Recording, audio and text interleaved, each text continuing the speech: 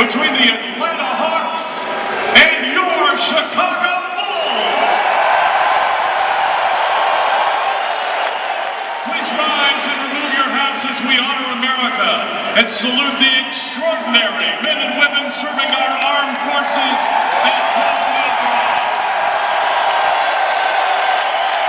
We especially want to recognize and thank the heroic men of our special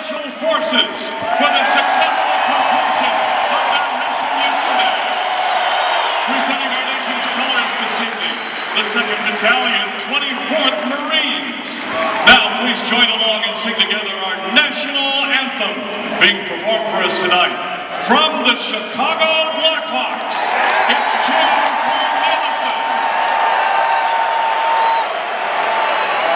Oh,